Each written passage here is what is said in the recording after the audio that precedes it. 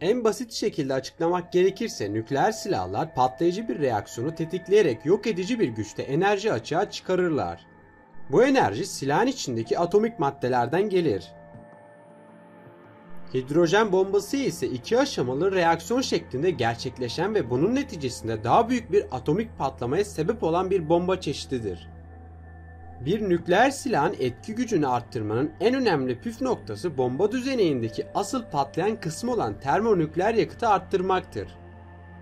İç patlamalı atom bombası Hiroşima'da patlatılan bomba buna örnektir.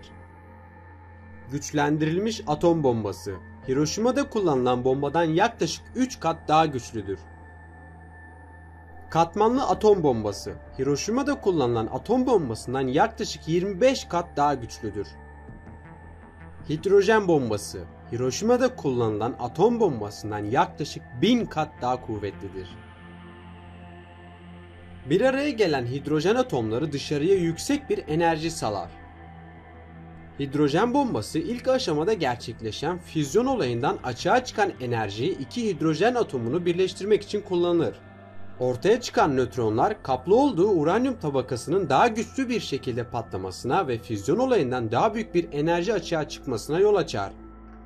Amerika'nın 1954'te denediği hidrojen bombası Hiroşima'ya düşen atom bombasından bin kat daha kuvvetliydi. İngiltere, Çin, Fransa ve Rusya'da hidrojen bombası olan ülkeler arasına isimlerini yazdırdılar. İzlediğiniz için teşekkürler. Hoşçakalın.